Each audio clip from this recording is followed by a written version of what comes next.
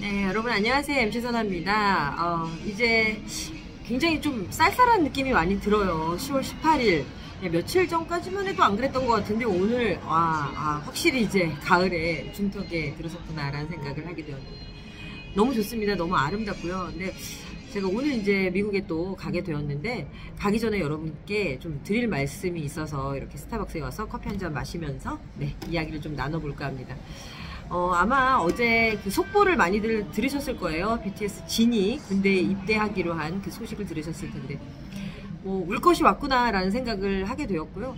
사실, 음, 뭐, 군대 문제가 계속해서 논란이 됐던 건 사실이지만, 방탄은 여태까지 한 번도 군대를 뭐 안 가겠다 이런 얘기를 해본 적도 없었고, 부르면 가겠다! 라고 늘 말했었기 때문에, 음, 언젠가 가게 될 거라고 생각을 했었습니다. 뭐 우리 대한민국의 입장에서는, 아, 어떻게든 우리 방탄이 콘서트도 많이 하고, 또 국위 선양할 수 있는 길을 좀 열어줬으면 하는 그런 마음을 저도 가졌던 게 사실인데 우리 탄이들 입장에서는 사실 군대 갔다 오는 게 마음이 훨씬 더 편하겠죠. 예, 당연히 또 하려고 했던 일이고 예, 국방의 의무를 하겠다라는 이야기를 늘 해왔던 이야기니까 너무나 잘 할 거라고 생각이 들고요. 뭐 뉴스를 보신 분들도 있고 안 보신 분들도 아마 있으실 것 같은데 네 2025년에는 완전체로 활동할 것을 기대하겠다라고 이야기를 한 걸 보니까 음, 한 3년 안에 네, 모든 멤버들이 다녀올 것 같습니다. 뭐 길게 끌지는 않을 것 같고 네, 7명의 멤버들이 다 한 명씩 한 명씩 뭐 따로따로 간다기보다 조금씩 이렇게 예, 시간차를 두고 가지 않을까 예, 3년 안에는 다 예, 군대가 마무리돼서 분명히 2025년 한 말 정도 되면 예, 완전체의 모습을 보지 않을까 싶습니다. 아유, 뭐 3년 금방 가지 않습니까? 네, 저희 아미들은 뭐 그런 정도 기다리는 건 아무 일도 아니고요.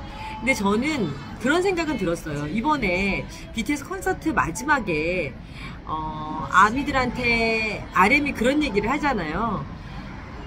음, 믿음의 시간이 필요하다. 네, 이제 믿음의 시간이 필요한 그런 때가 왔다라고 이야기를 하는데요. 진짜 맞는 말인 것 같습니다. 네.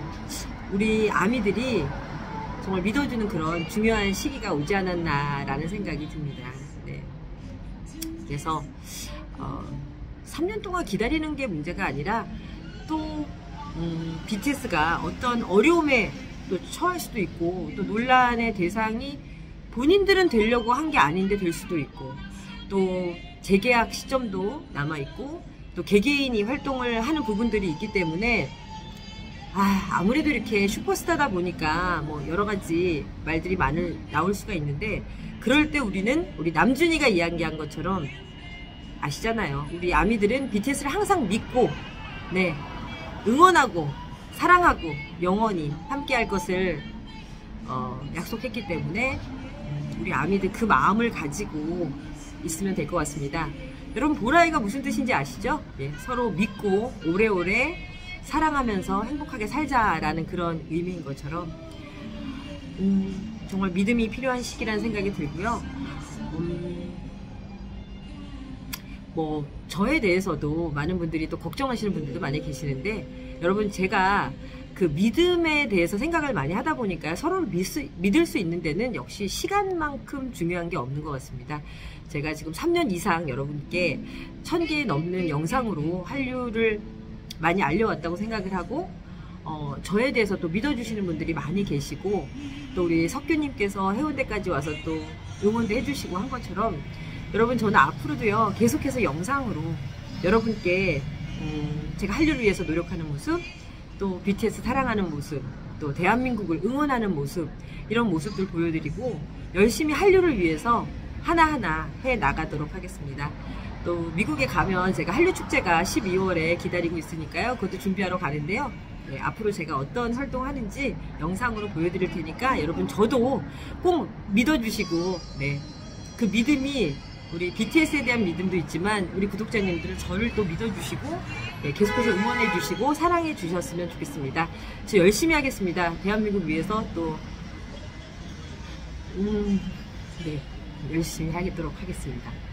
여러분 너무 감사하고요. 예, 보라해요 라는 그 말뜻처럼 서로 믿고 사랑하고 행복하게 예, 오래오래 그렇게 잘 지냈으면 좋겠습니다. 여러분 감사합니다. 또 저 계속해서 예, 소식 전하겠습니다. 네.